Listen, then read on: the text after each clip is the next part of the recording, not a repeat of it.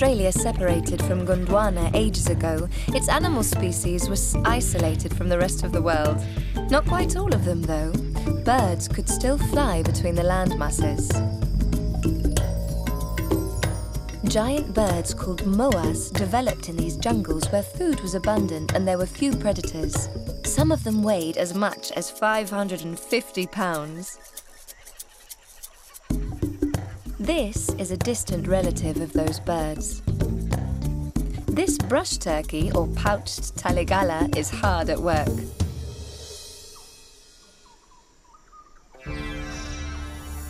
A kangaroo is watching him, but the bird is too busy to notice. These Australian turkeys are anything but lazy. The Talegalla is polygamous and has to provide a place for his females to lay their eggs. He's building a very unusual nest.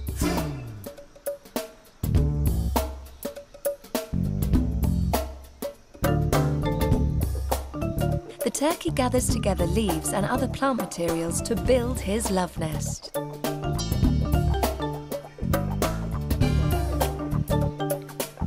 That's a nest? yes, it is and some may weigh as much as four tons. That turkey's got himself quite a job to do. It works like this.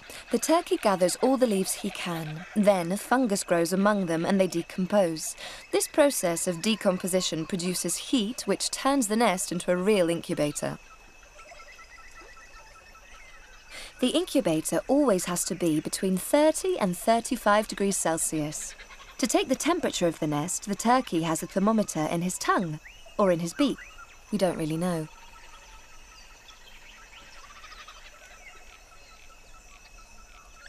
And here he is, deep sea diving in a sea of leaves, all in the name of reproduction.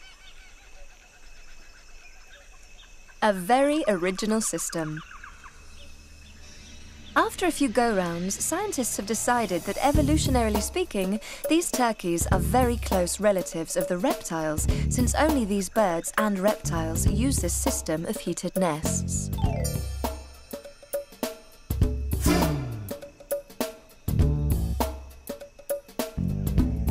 It's a curious case, but whatever it takes to reproduce.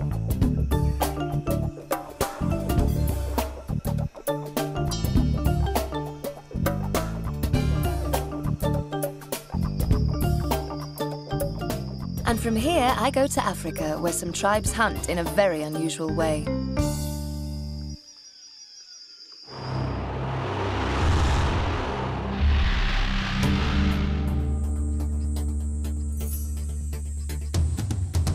We're in Borgou, in northern Benin, between Nigeria and Togo, home of the Bariba and Betamaribe groups of the Somba people, one of Africa's oldest tribes.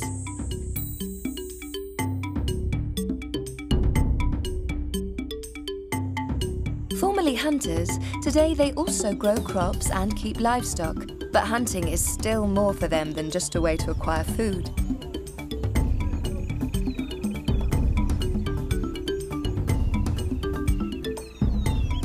They hunt in small groups led by a chief.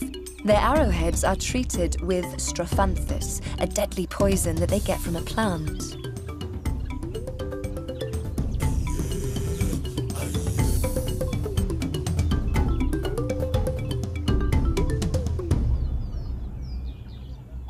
Once a year, in May, a number of tribes come together for the hunt.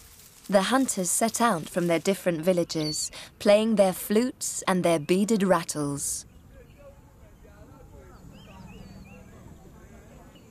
The Council of Elders selects a meeting place. The hunt is very important for the Somba people. They hunt to eat and to demonstrate their courage and intelligence. Special powers are attributed to the hunters, particularly to the chiefs, who have the ability to neutralize the animals that they are going to hunt. When everything is ready, they'll give the order to set out. No one knows how long they will be in the bush, and the hunt may sometimes last for weeks.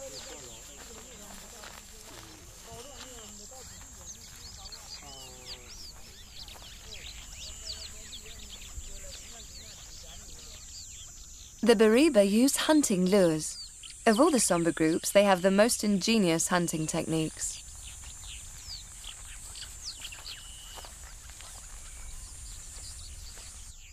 They hunt antelopes, zebras, monkeys, elephants, buffalo, and all kinds of birds. This camouflaged hunter moves silently across the land. He knows the terrain and the behavior of his prey intimately. If luck smiles on them and they take down a large animal, they will carry it back home to cut into pieces and share all around. Forest rangers allow the Bariba to hunt, but not the poachers, who use rifles rather than arrows and sell ivory and tusks on the black market.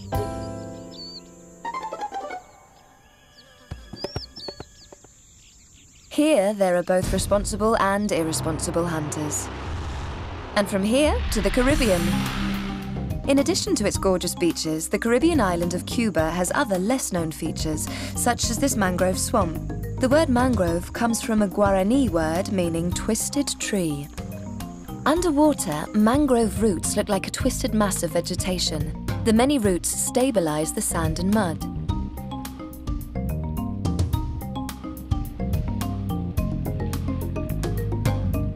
Ocean water and fresh water mix here. The mix is full of nutrients, fish and crustaceans. Plants have adapted to the lack of oxygen and easily reproduce, turning the swamp's floor into a tangle of vegetation.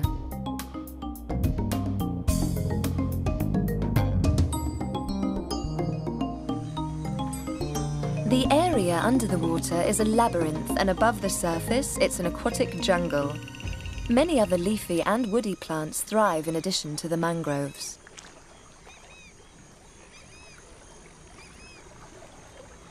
This is a habitat for great quantities of vegetation and many animals as well.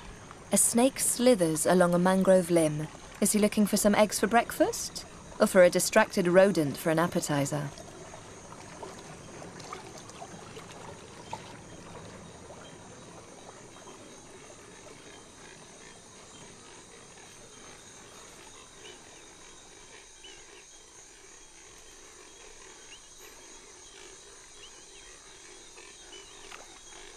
These mangroves develop in a very individual fashion. Their seeds are long and pointed, and when they drop, they have several options.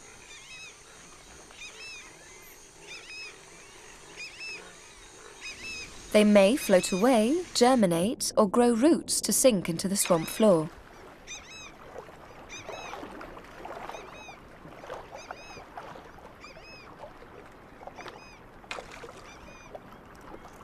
It looks very peaceful here, but it's not.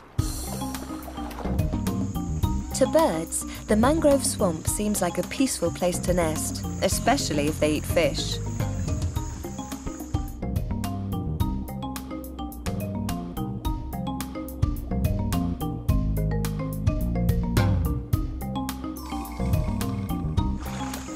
Many animals live off the mangrove's leaves and fruit.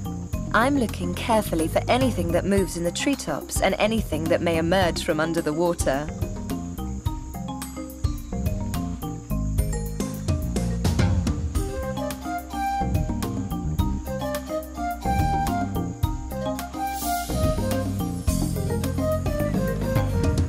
This is a Cuban or Desmares hutia, and this is a boa. And these floating tree trunks, with eyes, are mangrove crocodiles. I'm Ouncer here.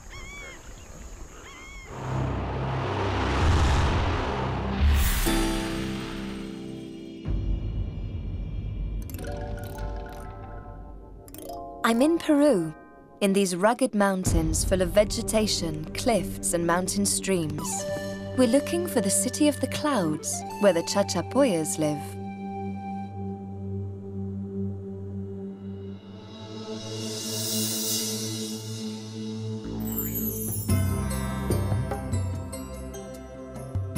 It's more a fortress than a city. A fortress at an altitude of 9,850 feet. The wall is 2,000 feet long. I walk its length, amazed and somewhat seasick.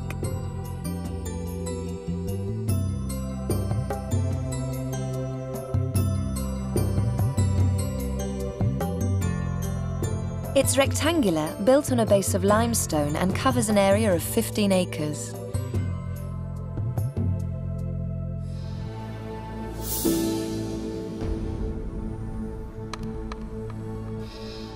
Could this city have been inhabited by the Cloud Warriors, light-skinned and handsome Indians, said by Spanish chroniclers to have been exceptionally stubborn and courageous? They were not only courageous, but also unconquered until the Incas cut off their supplies of food and water. Even then, the Chachapoyas held out for months before they surrendered.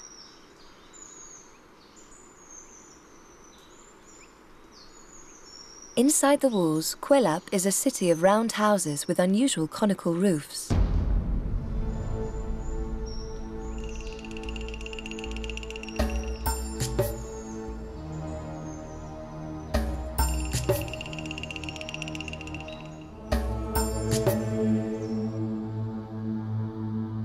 As we approach the innermost enclaves of the Chachapoyas and their cliffside tombs, the atmosphere turns otherworldly and supernatural.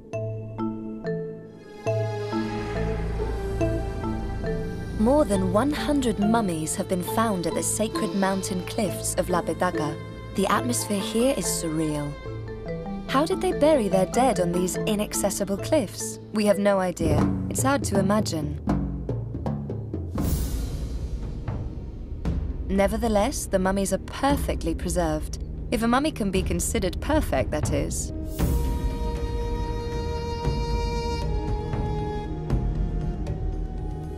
The sarcophagi of Carajia contain many Chachapoya mummies.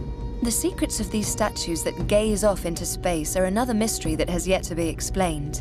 They are a real challenge to archaeologists, and to me they are inexplicable. I'm flabbergasted.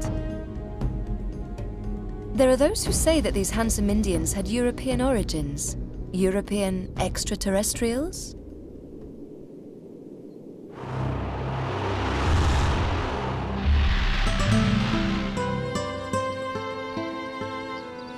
A Spanish lagoon called Villafáfila also holds many secrets. Every year it is visited by migratory birds that pass through here on the way to Extremadura and Andalusia.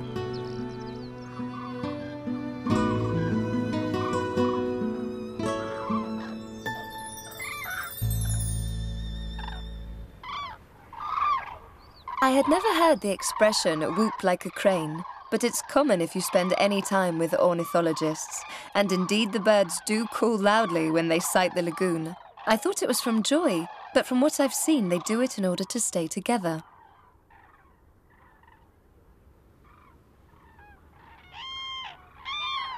About a thousand cranes stop over here for several weeks. They find everything they need, especially food in the form of plant stems, small animals and tasty bulbs. When autumn ends, they'll again take flight to spend the winter in Extremadura and Andalusia.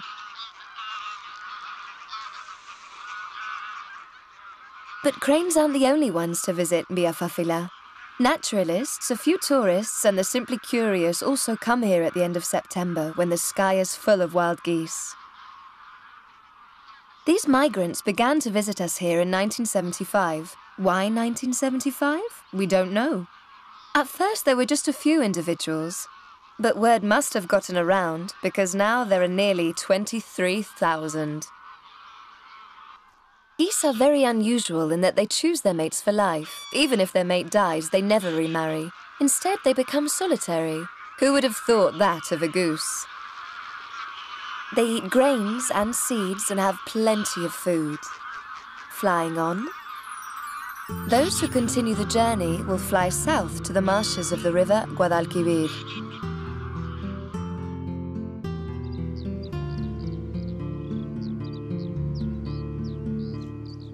The bustard also likes to hibernate here. It is the largest terrestrial bird in Europe.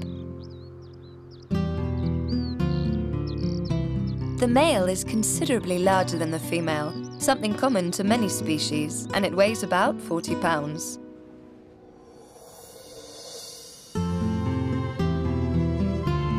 When spring comes, the bustards begin their courtship.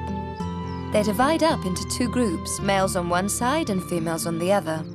The males display their attributes, above all, their white feathers, and the more the better, hoping that a female will show interest. While the females consider their options, the male will take flight in order to fluff up his wings, like a crane lifting off for a long journey.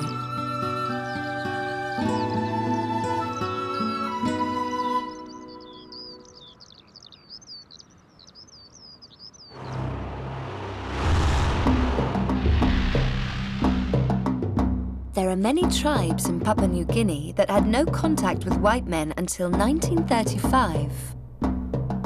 Here in the highlands, neighbouring tribes have not always got along. In fact, sometimes they get along very badly, and there are constant battles and wars among them. These men belong to a tribe known as the Asaro Mudmen. The Asaro take advantage of the idea that guile may win over brute force, particularly when their warlike neighbours believe in ghosts and spirits. Most of these tribes believe in the spirits of the dead, in supernatural beings that live in the forest, and in other spirits called domia that inhabit objects and may bring on bad luck. The Mudmen's defense is a frightening mask. Here, they are forming them out of mud. They believe that these terrifying masks saved their ancestors from a sure death.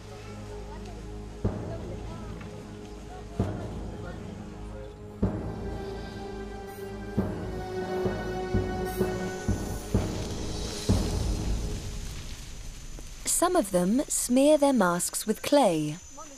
And it looks like they're having fun. In addition to camouflaging, the mud does wonders for the skin. Then they tie tree branches to their waists.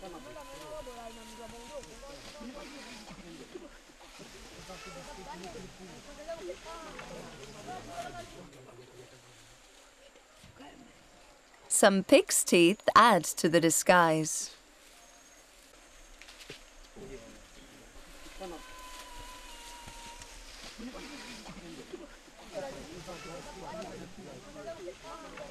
And finally, a second layer of a different, more watery mud. This trick had its origins in an old man named Pukiro, who had a dream about some monstrous beings. The village was besieged by a large enemy tribe Inspired by his dream, Pukiro ventured into the forest when the sun went down with a mud mask over his head and long claws made of bamboo shoots. When the enemy saw him emerging from the darkness, they fled in terror.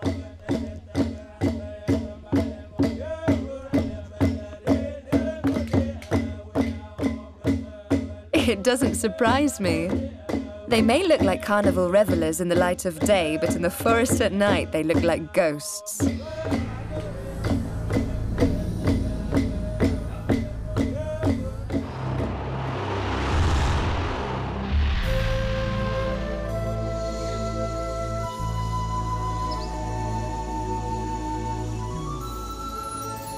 It's easy to be surprised in the Caribbean as well. The word cenote comes from the word sonot, in the language of the Mayas. Cenotes are found in Yucatan, Florida, and Cuba. Cenotes are filled with fresh water filtering in through surrounding limestone.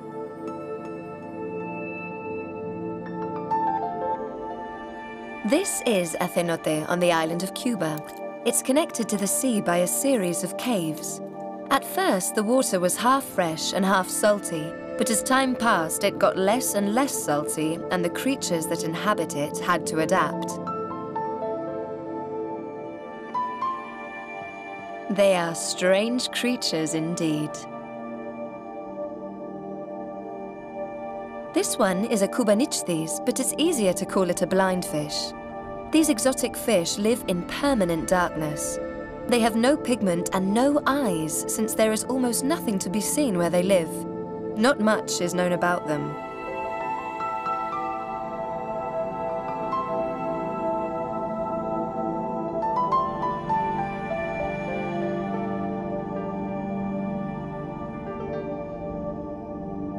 Although they are blind, they have nothing to fear.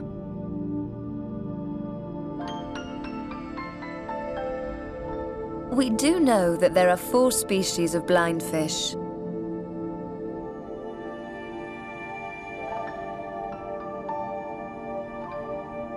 There they go with their dorsal fins to look round a bit at the bottom of the cenote. This is a shrimp, a delightful appetizer for the Cubanichthys. There's barely any light here and hardly any predators, but there's food. Although the fish can't see, it detects signals sent out by the shrimp. Like a pale shadow, it slowly glides towards its prey, safe in the knowledge that it won't be swallowed in a moment of carelessness. In Yucatan, there were sacred places. Some unfortunate people were unceremoniously thrown into them from high cliffs, and if they didn't die, they were considered gods.